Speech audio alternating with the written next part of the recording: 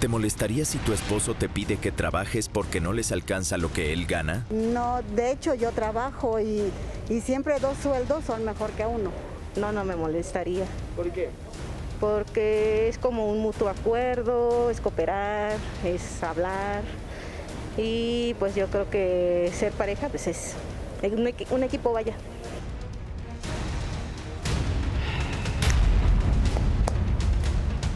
Problemas del siglo XXI. Me dejó y ahora viene por mi hijo. Ese es nuestro tema. Bueno, a ver, Manuel, ¿qué es lo que le dijiste al niño cuando su mamá desapareció? Cuando te preguntó, ¿y dónde está mamá?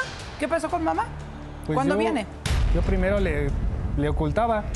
Le dije que había ido con su tía, que se había puesto mal a su tía. Pues le mentí. ¿Cuánto tiempo? Así estuve casi un mes mintiéndole.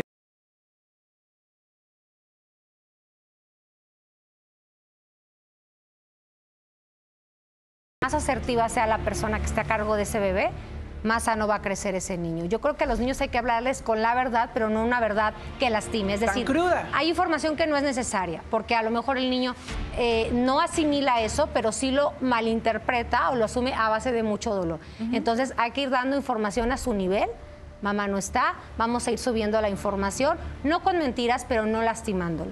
Y sobre todo también ir preguntando al niño, ¿tú qué crees que es esto? Que mamá no está, ¿dónde fue? O sea, vas involucrando al niño y si no puedes solo, para eso estamos nosotros, para acompañar en el proceso. Qué bueno que dijiste eso, porque mucho público que nos está viendo seguramente no sabe manejar situaciones como estas y creen que, ah, no, es que como mi tía es más grande que yo, eh, debe sabia. tener la información y la sabiduría para darme un consejo, o quizá mi suegra, o a lo mejor mi mamá y público, no necesariamente, podemos estar equivocados.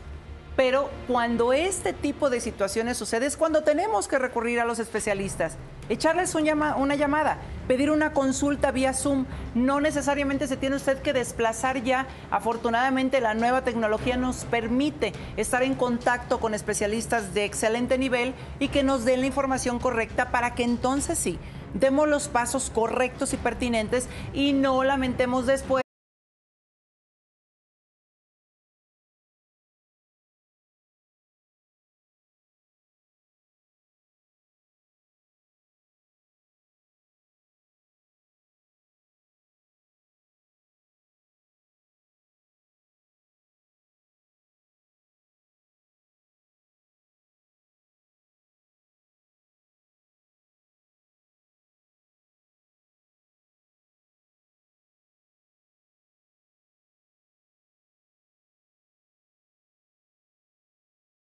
Es andarnos pasando de la raya con, con- con información a todo. O sea, si a una bebé le habla de menstruación, ¿verdad? Pues se va a quedar No, así sí. como, ¿de qué me está hablando la señora, no? Se la tiene que dar más cercano al periodo de en que ella pueda tener eh, ese tipo de vivencias o ese tipo de situaciones. Entonces, lo mismo sucede con los niños.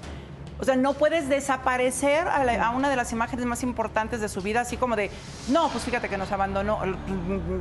Y sobre todo, Rocío, que por ejemplo, en este caso que mamá no está, el papá que queda, tenemos que tener mucho cuidado de que el niño no genere esa ansiedad por papá. Es, por ejemplo, voy a trabajar, a los niños hay que hablarles en su lenguaje, voy a trabajar y voy a regresar después de que tú cenes, voy a estar aquí, ¿no? Así es. Después de la comida. No voy a llegar a dormir, pero una noche, al día siguiente ya estoy aquí en el desayuno. O sea, ir hablando el lenguaje de los niños y sobre todo cumplir las promesas. O sea, si digo que voy a llegar en la noche después de cenar, a esa hora hay que llegar. Para que el niño entonces pueda sentir un lugar seguro.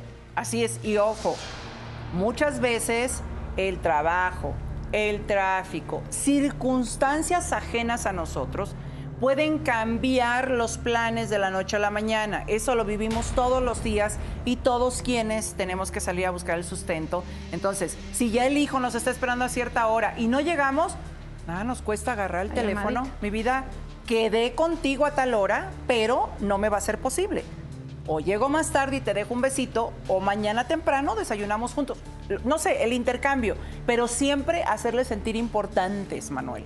Así que tu mamá no tomó la mejor decisión y yo voy a hacer pasar precisamente a tu mamá, primero que a David, a doña Marta. Necesito que venga porque yo creo que está haciendo un buen papel que no le corresponde pero que como abuela lo asumió y como madre Manuel también lo asumió, está protegiendo a ese bebé, pero pues sí que necesita tener más información y más herramientas para saber si va a seguir criando ese bebé, porque también hay que preguntarle eso, público. ¿Doña Marta quiere seguirse haciendo cargo de ese bebé? O sea, ¿está en condiciones? ¿Está dispuesta? Adelante, producción. Lucía nunca ha sido una buena mujer. Le gustaba andar de loca. Siempre se lo dije a mi hijo. Si no la quiere ni su madre, por algo será. Será muy tonto mi hijo si regresa con ella. Ella perdió todos los derechos sobre mi nieto desde el día que lo abandonó. Ahora me corresponde a mí sacarlo adelante. Ay, doña Marta, doña Marta, doña Marta. Ya empezamos mal, oiga. Pues no creo. No. No, no creo Como que mal. siempre se lo dije a mi hijo. Siempre le advertí. Siempre. ¿Qué ganamos con eso? O sea, no creo estar mal porque una persona así no se justifica. Ella es la mamá de su nieto. Claro, es la mamá de mi, de mi nieto. Y ya de entradita- Estoy, o sea, y estoy agradecida y estoy bendecida con esa bendición que tengo. Ajá. Pero no se me hace justo que lo haya abandonado. No, y nadie dijo eso. Pero yo digo, la posición de estar advirtiendo y es como, ¿saben cómo lo, lo veo yo? Así como, ¿se acuerdan de las... Y yo te maldigo, y dices, ay, hasta simbra, ¿no? Por Dios, que si hay madera cruje la cosa, ¿no? Hasta miedo da. O sea, como que no se vale, ¿no? Como mamás o papás, yo creo que tenemos que desear lo mejor. Ya si los hijos se equivocan, pues es su golpe. Se tienen que dar un chipotazo de repente, ¿no? Claro, claro, y estoy de acuerdo. Ajá. Pero, o sea, de la noche a la mañana agarró, se fue, nos dejó la bendición y ya. O sea, ¿qué culpa tiene Manuel? ¿Qué Ninguna. culpa tuvo el niño Tampoco. por sus problemas de ellos? Tampoco, pero a ver, ¿de dónde saca usted decirle a un bebé de cu- a qué- a cuándo se lo dijiste, Manuel? De que su mamá los abandonó. Después del mes. Ya ha llegado una edad en que, en que un terapeuta pueda decir, eh, es, es ahora cuando se le tiene que dar la información, entonces hacerlo, Nora. Sí, yo creo que aquí lo que tenemos que cuidar es más bien las formas, Rocío. Por ejemplo, al decirle tu mamá nos abandonó, le das un mensaje al niño de soy abandonable. ¿Qué defecto tengo? ¿Qué hice malo para que me abandonaran? Entonces, eh, la intención no es mala, entiendo como abuela Claro, el claro. querer proteger, pero hay que cuidar las formas.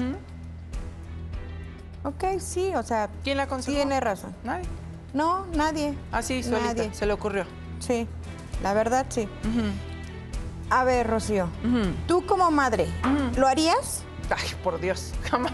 O sea, si yo estoy viendo que estoy padeciendo una situación como ella, según dice pasar, que yo jamás me lo hizo saber, ah, ya me voy bien fresca y ya quédate con el niño.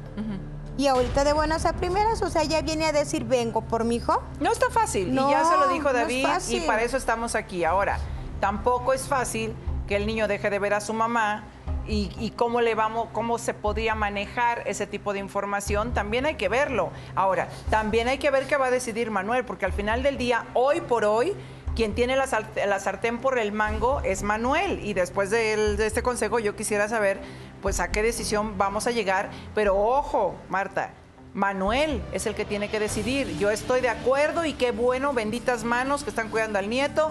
Y no, ni dudo tantito que usted sea una, una abuela amorosa y que, y que está dedicado al niño. Pero Claro. usted está dispuesta a seguir cuidando al bebé. O sea, usted no trabaja, tiene el tiempo para dedicarle al bebé. Todo eso Claro. es tomado en cuenta ante la ley y, por supuesto, ante Claro. la autoridad, que es un juez.